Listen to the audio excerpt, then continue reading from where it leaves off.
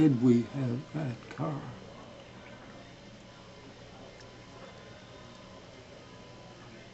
Anyway,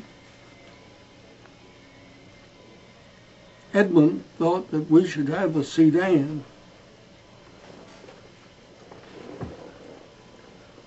But my father never liked the sedan. And we only keep it, kept it a couple years. He, he wanted the open car. The sedan, you know where the doors were in the first Ford sedan? No, In the middle, in the middle. There was no front door, no front door, no back door, no back door. just the door and The uh, a window in the middle on a door in the middle, in the in the middle, and you open the door and you squeeze that way, or you'd squeeze to go to the back seat. okay. Okay. You ever did you ever own a car with a rumble seat in it?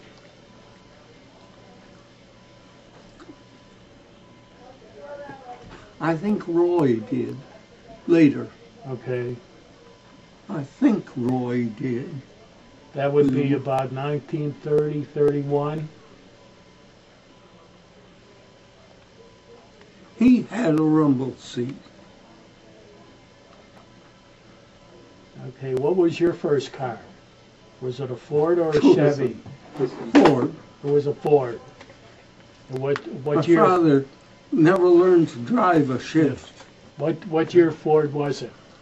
Oh, That was his first car. 14, That 1914. This isn't it, I This guess. isn't a 1914. This is a, a 19, 29. uh, yeah, no. Is that a 29?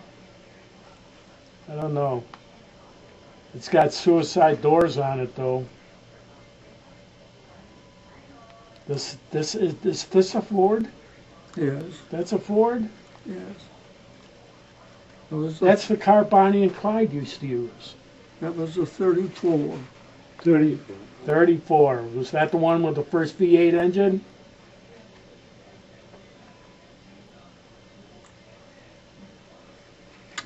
I don't know.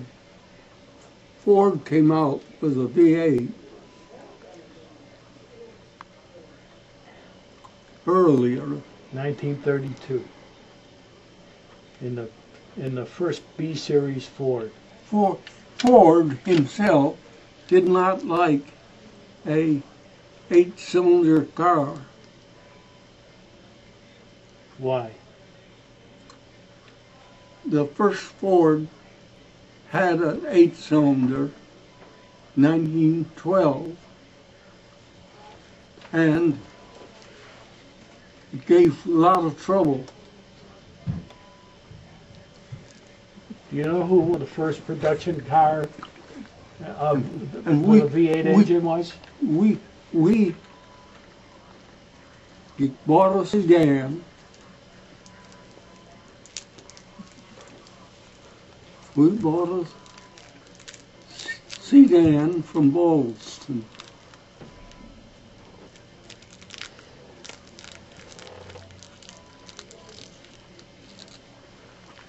My father did not like it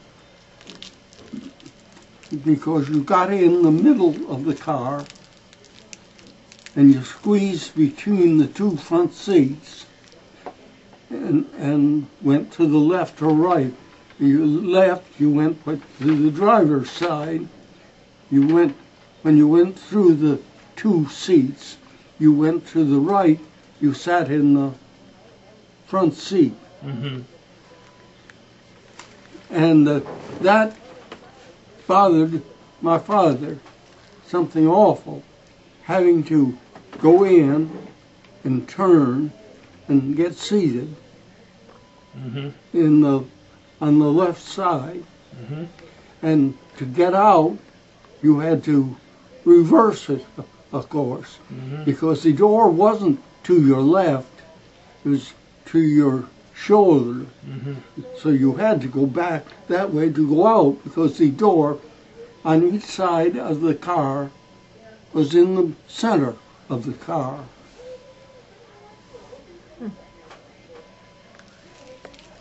Got out and got in the car, the second car, and they drove off, leaving a car. Can you imagine that? Leaving a automobile in our yard by the pump. that was something. The next morning, Edmund knew what to do. Edmund went out, cranked it, it started, it started, Sure. and drove it to the orchard. And the poor sheep were huddled together for their lives. Can you imagine what those poor sheep thought? That monster coming in our field.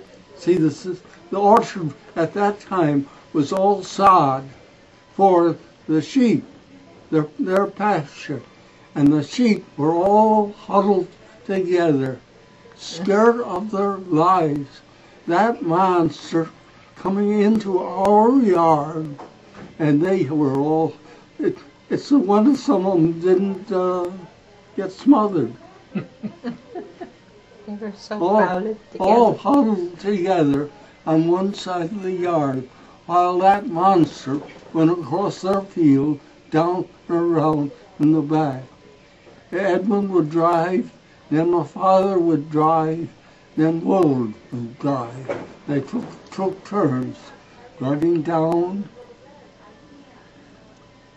round two rows of trees, and back. See, it was all sod, so that they didn't get stuck or anything, and back.